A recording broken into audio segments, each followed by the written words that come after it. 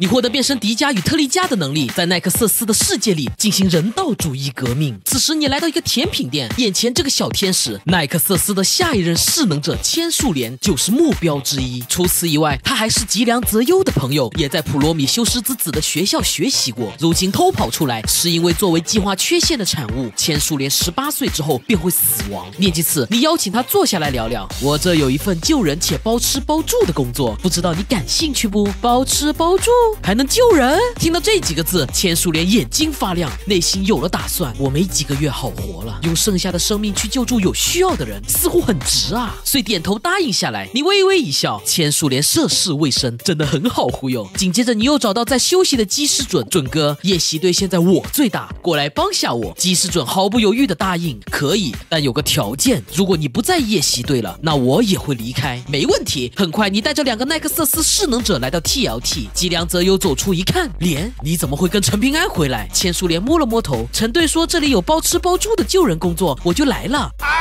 这话说的令吉良泽优是十分无奈，转身望向基师准，一眼就认出他是奈克瑟斯。陈平安，你越来越让我喜欢了。待会儿两位的文书就会下发。说完，拉着千树莲去办公室，不知道要干什么。夜晚时分，吉良泽优的虚影又来到你床边。我操，参谋，你能不能别这样？吉良泽优有点生气，莲的生命已经快要走到尽头了，为什么要带他来夜袭队？只会加快他生命的消耗。你摊了摊手，参谋，每个人都有自己的道路，而。且我早有打算。说着，使你拿出一颗生命之果，此物只需要给千树莲服用半枚，足以让他长命百岁。闻听此言，吉良则由难得露出惊讶：“这这是真的吗？”“当然是真的。”参谋，你也不希望莲在他刚成年的时候死去吧？望着你那不怀好意的笑容，吉良则由头都大了。你想要什么？只要合理，我都给。好，就等你这句话。你露出奸计得逞的模样。我要整个夜袭队的真正管理权，还有 MP 部队也要交。由我统一负责。MP 部队，吉良则优疑惑，但为了救千树莲的生命，可以，但只能给你一半，另一半掌控权需要在我手里，并且得等莲生命恢复正常后，可以。你点头答应，能有一半已经是出乎意料了。一日，你给千树莲吃了一颗生命之果，然后带他去做了详细检查，报告显示细胞活力超标。吉良则优十分高兴，当即将 MP 的一半指挥权给了你，并提出疑问：为什么要掌管 MP？你语不惊人死不休，因为。我想让人类知道奥特曼的存在。闻听此言，吉良则又炸了。得知奥特曼的存在，意味着异生兽也会众所周知，届时人类产生大量恐惧的情绪，异生兽的实力也会大幅度提升。你一甩手打断对方说话，那参谋，你是不知道奥特曼的力量来自于哪里吗？是与人类的羁绊。未来异生兽会更强。若奥特曼实力一直停滞不前，夜袭队真的有能力面对吗？这话说的，吉良则又沉默许久，不让 MP 消除人类记忆，不是我说。说了算，必须得到宋勇管理官的同意。你叹了口气，迟早你会明白我的用意。接下来的日子里，你把栗子的实际情况告诉了孤门，并且将其招募到夜袭队里进行严格的训练。期间里出现过的异生兽，你都是变身成迪迦解决，顺便带上十绝光焰，偷偷让这货在附近散播奥特曼出现的信息，既监视了黑暗杂技的动态，又能完成系统任务。而屏幕与孤门则在基地里训练基师准他们。然面对一直进化的异生兽，你慢慢有点力不从心。在对付最近的一只莱弗利亚时，你连续用了三次载佩里奥光线，才把对方打成分子。再这么下去，我可能要成为准哥二代了。在此期间里，你发现十绝光焰会在夜深人静时刻暗中调查一些资料，看来黑暗炸机已经开始蠢蠢欲动了。某天早晨，你刚到基地就收到紧急情况，孤门与粒子失踪了，所有地方都搜寻过，完全没二人的踪迹。听到这，你不由看向十绝光焰，应该不是他，这几天出任务都带着那黑。手显而易见，黑暗梅菲斯特也是夜袭队的前副队长，勾吕木真眼要引出他，唯有一个人可以。于是乎，你找到吉良泽优，把西条纸借我用下，我有办法救出孤门与粒子。不可以，吉良泽优摇了摇头，西条已经不是夜袭队队员，归属后勤部，得你自己去说。行，你径直来到后勤部，西条只看到你是仇人见面分外眼红，抡起手里的扫帚就冲了上来，你一把夺过。西条队员，孤门与粒子。失踪了，需要你协助配合下我。西条子冷冷一笑，让我去救异生兽？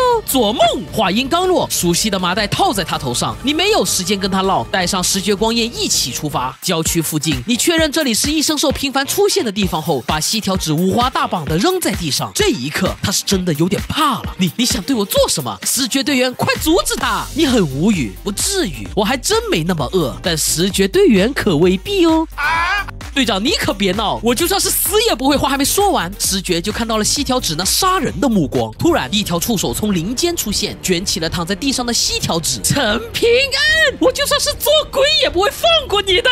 石觉光焰见状，刚要开枪，却被你拦住。队长，虽然他犯了严重过错，但也罪不至死啊！你瞥了一眼，别急，让子弹飞一会儿。说罢，你带着视觉光焰开始尾随触手。一路上看着一直被拖着的西条子，视觉光焰感觉体内像有什么东西。要冲出来般，眼看细条只要被异生兽一口吞下时，身体中的黑暗准备出手，然一道黑影抢先闪身而过，直接将异生兽的触手斩断，顺便劈开了细条纸身上的绳索，而视觉光焰也恢复了正常。异生兽见有人妨碍自己，正要发怒，发现对方散发着恐怖的黑暗气息，吓得直接逃离现场。没想到夜袭队的前任副队长竟然出现在这种地方，你淡定开口，闻言黑影转过身，露出了那张细条纸日思夜想的面孔，看。看来你早就知道我的存在了，那必须的，长得跟任贤齐这么像，记不住我就是白痴了。正说着，西条子不知从哪摸出的手枪，想要偷袭沟吕木真也。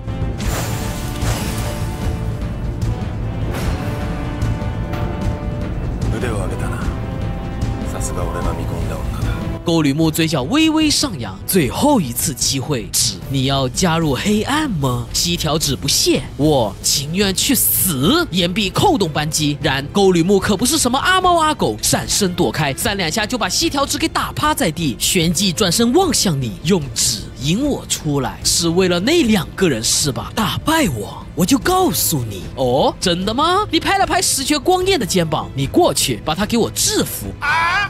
队队长，我没听错吧？见你脸色严肃，石觉光彦只好硬着头皮往前走。对面的沟吕木是满脸不屑，就这种垃圾，一巴掌我能拍死十个。此时此刻，两个人都不知道谁才是真正的爹。下一瞬，沟吕木动了一下，击飞石觉手中的枪，单手掐住他的脖子，高高举起来。队队长，救救我！你没有动手，反倒是。继续看戏，眼看视觉光焰要窒息时，沟吕木惊恐地松开了手，连续后退了好几步。因为就在刚刚，他从石觉身上感受到了印刻在灵魂深处的压迫感，强到足以令自己听从对方命令，遂扛起细条纸就要跑。一旁石觉下意识大喊：“别跑，给我站住！”话音刚落，沟吕木竟真的停了下来，满脸不敢置信：“我的身体怎么无法前进了？”视觉光焰也觉得奇怪，马上躲在一棵大树后面，放下细条纸。刚喊完，沟吕木居然真的照。做了这么听话，难道是队长的气场吓到他了？一定是。那几次，视觉昂首挺胸的走出来，你把孤门和栗子都放了，不然我跟队长打死你！听完，沟吕木不由自主的一挥手，栗子和孤门都出现在了地面上。这一刻，连你都傻眼了。刚刚只是想试试沟吕木会不会把炸鸡干掉，没想到竟触发了隐藏特性。而孤门看到沟吕木为保护栗子，直接攻了上去，对方哪会站着被他打？当即挥动拳头反击。住手！沟吕木的拳头。也停在了半空，接着便挨了孤门一记友情破岩拳，可萨可萨可萨！这一拳算是彻底激怒了沟吕木，黑暗从其身体之内冲天而起，覆盖住了整片区域，而他的身躯也巨大化，变成黑暗巨人梅菲斯特。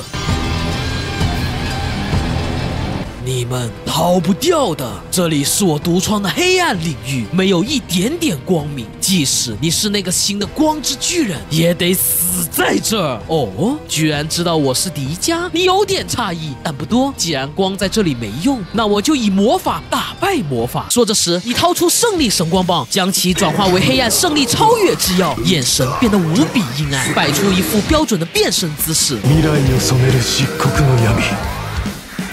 トリガーダーク